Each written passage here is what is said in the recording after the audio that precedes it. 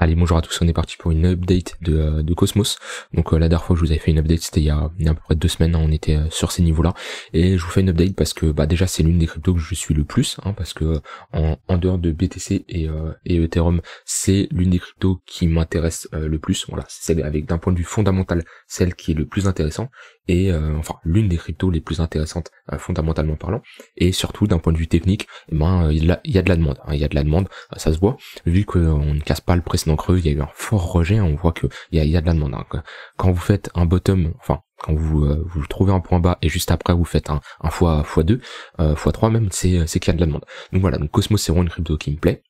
Maintenant, si vous cherchez à vous placer, euh, c'est moche ce qu'on fait actuellement. C'est moche, clairement. Donc moi, je vous avais parlé des 10 dollars. C'était vraiment une, une zone que j'attendais. on a on a mal réagi dessus. Euh, de toute façon, on le voit si je me mets en si je me mets en trois jours. Hein. Euh, depuis là, on a fait un M top. Hop. On est revenu chercher ces 10 dollars. C'est une zone où j'attendais qu'il y avait qu'il allait avoir un développement de prix, hein, tout simplement parce que c'est une zone, c'est un, très gros support. On avait on avait un point pivot, on avait euh, notre nos 0,118 de Fibonacci ici. Voilà, on avait une autre ligne de coup, euh, je sais plus ce qu'il y avait d'autres, mais on avait pas mal d'indicateurs qui nous disaient, voilà, on était en bas, en bas de ce range là, voilà, sur support également, euh, ancien point pivot yearly, donc les 10 dollars c'est vraiment chiffre rond psychologique, voilà, c'était, bref, il y avait tous les critères pour que euh, on consolide dessus. On a légèrement consolidé, hein, très peu quand même, quelques jours, quelques jours, enfin, ouais, quelques semaines plutôt, on est resté on est resté quoi? On est resté trois trois semaines trois semaines à un mois euh, autour de, de ce niveau là et on l'a cassé. Et de toute façon en trois jours on le voit trois jours daily weekly hein, on voit qu'on est dans une dynamique baissière vu que les sommets euh, globalement ils sont de plus en plus bas donc euh, ce niveau là ne, ne tient pas donc bah, comment on sait qu'un niveau tient? Eh ben on a on a tout simplement on inverse une dynamique c'est à dire quand vraiment un niveau parce qu'un support un support, ça nous localise le prix. Ça nous dit, ok, attention, par exemple, ici, voilà, si on prend l'exemple du passé, là, ça nous localise le prix. Ça nous dit, ok, on est sur une zone qui va être défendue. Maintenant, une zone qui va être défendue, c'est pas spécialement une zone qui va être remportée par les acheteurs. C'est-à-dire que on va avoir un combat, donc le, prix ne va pas euh, chuter comme on a fait là. C'est-à-dire que là on chute parce qu'il n'y a aucun support, mais Ici, voilà, on a notre support, donc on va avoir un prix qui va être défendu. Maintenant, on va assembler d'autres indicateurs techniques, comme par exemple une divergence haussière, parce qu'on en a une, euh, voilà, on en a une, euh, on en a une ici, tac, on a une divergence haussière avec des structures. Ici, on a un W. Voilà, c'est le, genre de, de pattern qu'on veut voir sur un support. Hein, C'est-à-dire que, sauf si vraiment vous êtes sur du weekly monthly et vous faites un peu du, du DCA, même si je vous le dis, je n'aime pas faire du DCA en dehors de BTC et Ethereum, mais voilà, à moins d'être sur ces unités de temps, sur du, du 3 jours daily weekly, sur un support, on va pas juste acheter les yeux fermés sur un support. On va vraiment attendre une confirmation que ce support est gagné par les acheteurs. Et ça, ça va être euh, le, mélange d'indicateurs techniques comme des divergences haussières euh, sur les MACD, des W, etc. Alors bien sûr, c'est pas non plus du 100% de réussite, mais chaque euh, chose que vous prenez en compte, ça va augmenter vos, taux de réussite. Et actuellement, qu'est-ce qu'on constate? Eh bien, sur ce sur ce point pivot yearly, on n'avait pas de divergence. Hein. Si je me mets en mode, si je me mets en mode replay, voilà, ici, on n'a aucune divergence haussière, et au contraire, on a ici une divergence baissière. Donc ça veut dire que on était plus côté, on était plus puissant côté des vendeurs que, que des acheteurs.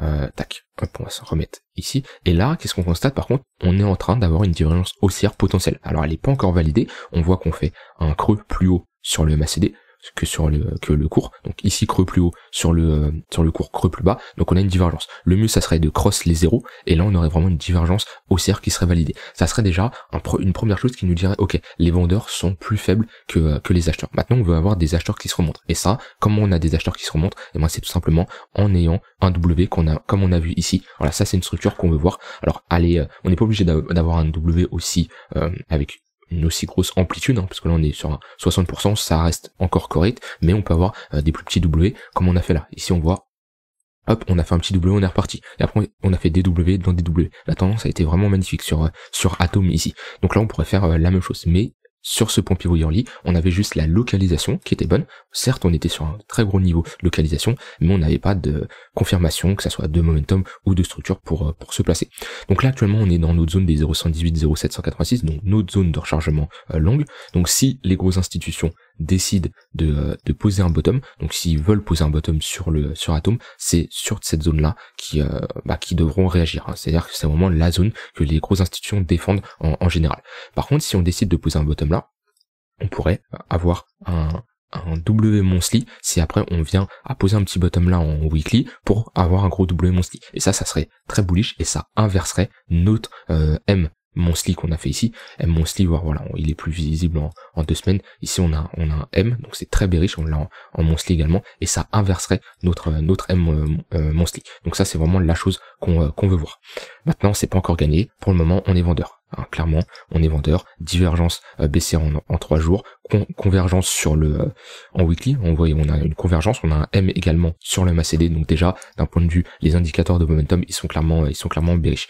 Euh, si je mets pareil les tunnels Vegas, on voit on se fait rejeter deux fois dans le tunnel, dans le tunnel daily le tunnel 3 jours ici qui nous a rejeté là et depuis depuis ça depuis qu'on baisse c'est le tunnel 4 heures qui lead le marché on le voit hop on se fait rejeter une fois ici deux fois trois fois. Là, on casse le point pivot, on se fait rejeter également dessus. Donc, on a, de toute façon, la tendance est claire. Vous voyez qu'on a le tunnel daily au-dessus, en dessous le tunnel 4 heures, et en dessous le tunnel 1 heure, et en dessous le tunnel 15 minutes. Donc on est clairement dans une tendance baissière. La première chose qu'il faudrait voir, c'est le tunnel 15 minutes qui recrosse le tunnel 1 heure. Là, on pourrait déjà avoir un beau signe. Ensuite, le tunnel 1 heure qui recrosse le 4 heures, etc., etc. Mais pour le moment, la tendance est toujours euh, vendeuse. Et dans une tendance vendeuse et eh ben si vous voulez faire du, euh, du scalping ouais là on est plus sur du swing trading. On va pas être sur du scalping. On verra euh, l'unité temps court terme après. Mais si vous voulez faire du swing trading et eh ben là vous avez des opportunités. Par exemple là qu'on revient comme ça dans le tunnel dans le tunnel 4 heures. En plus qu'est-ce qu'on constate? On est globalement voilà on était globalement dans un range. Ici tac on était, euh, on était globalement dans un range. Donc là, on arrive en haut de notre range, on est dans le tunnel 4 heures, on constate qu'on a euh, des divergences baissières. Donc on, en a déjà une première qui est ici. On a une première divergence baissière ici, on en a une deuxième qui est ici. Donc là, on a quand même des indicateurs qui nous disent attention, le, prix est prêt à se retourner. Donc soit on attend après un ravalement, une structure, on a ici, hop, un, un M sur le pivot yearly et à la cassure, on a notre ligne de coup plus le pivot euh, yearly qui va faire office de, résistance, hein, parce que une ligne de coup c'est une résistance. Donc là on a une confirmation du M. Alors pour placer logiquement on se place toujours à la cassure hein, et pas qu'on mèche, la cassure elle se fait ici. Donc c'est vraiment un peu tard de se placer. On va surtout si on met un stop loss sous le précédent euh, sous le précédent sommet. Voilà. Alors peut-être que on peut aller chercher un 2 points, mais moi j'aime pas le stop loss est trop éloigné. Qu'est-ce que j'attendrais? J'attendrais tout simplement un retour sur cette ligne de coup ici. Donc on met un ordre en, limite hein, tout simplement.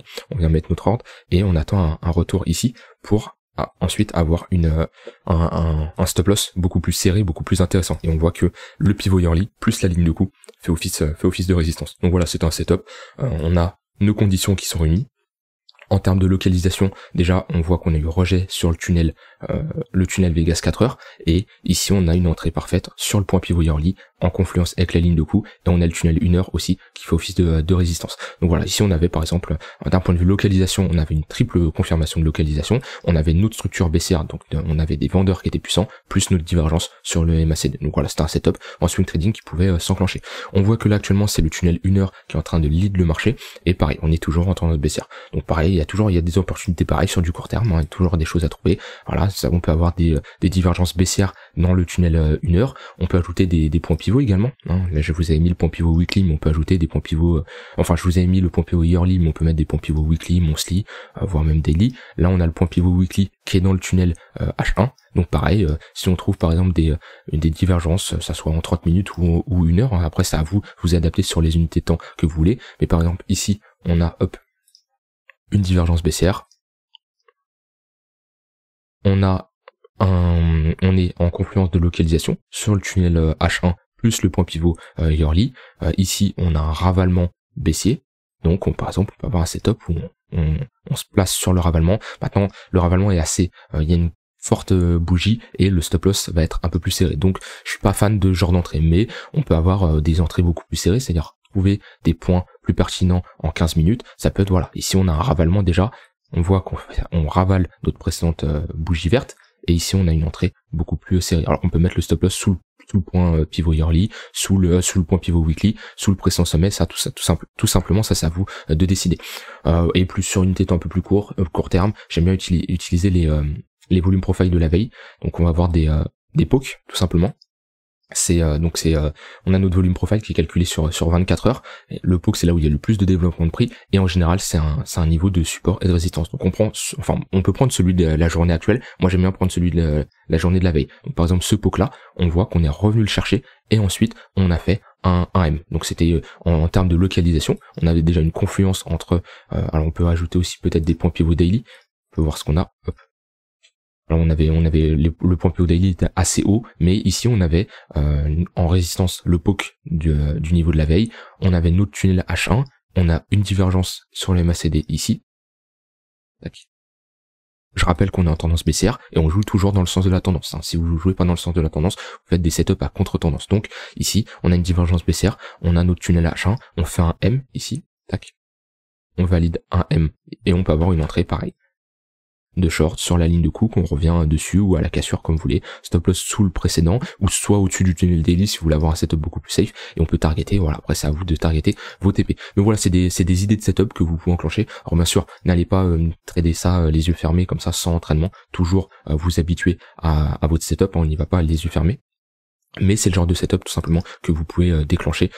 Toujours, moi, je vous recommande de jouer dans le sens de la tendance. Hein. Surtout si vous débutez, n'allez pas faire des setups à contre-tendance. Ça veut dire qu'on a une tendance haussière, des creux de plus en plus haut, et bien on va jouer cette tendance. Donc, par exemple, sur le tunnel H4, ça va être des raisons de localisation pour longue, et on voit que ça marche. Ici, bah là, ici on se fait, on se fait chasser, on se fait chasser parce que bah le marché se retourne, mais si vous êtes rentré sur les bons, euh, les bonnes périodes auparavant, et ben vous êtes clairement en positif. Maintenant, jouer en contre-tendance, c'est-à-dire shorter ici, shorter ici, shorter ici, shorter ici. On voit que le mouvement est beaucoup plus compliqué et ça demande un minimum d'expérience. Et moi, même j'ai des setups à contre-tendance, mais je les utilise euh, pas parce que je suis plus à l'aise sur des setups en tendance. Voilà, c'est après le but d'être à l'aise avec euh, avec les outils euh, qu'on maîtrise tout simplement.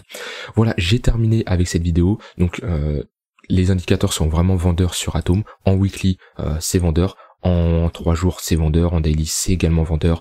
Euh, voilà, sur du 4 heures, 1 heure, on a potentiellement un, range. On est dans un range pour le moment, mais on a toujours des, des moyennes mobiles qui sont qui sont baissées. Donc ce qu'on ce qu'il faudrait pour vraiment avoir euh, une confirmation de d'une cassure haussière, hein, c'est vraiment passer au-dessus du tunnel H1, faire support dedans, on a notre cassure en même temps du range, et on pourra s'attaquer tranquillement au tunnel H4 euh, ensuite. Voilà, j'ai terminé cette vidéo. Euh, il y aura pas de vidéo ce week-end jusqu'à jusqu'à mardi puisque euh, c'est les fêtes et je vais un peu me décrocher euh, des écrans et des charts de mon côté.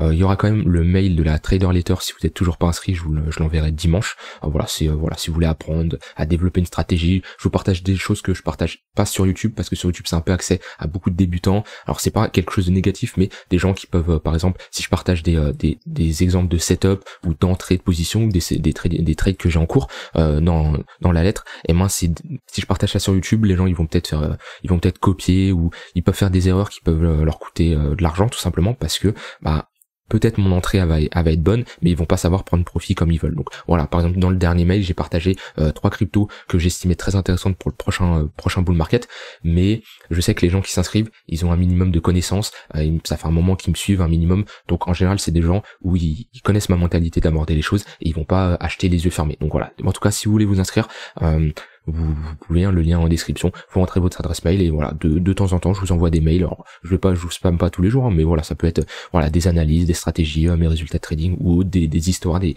bref, de la valeur que je vais vous apporter qui va vous permettre de vous faire progresser dans le monde de l'investissement, du trading et des crypto-monnaies. Voilà, j'ai terminé avec cette vidéo, n'hésitez pas à me dire ce que vous pensez vous de Cosmos, du prix actuel, et on se retrouve euh, bah, à mardi pour une prochaine vidéo. Bye bye et bonne fête surtout.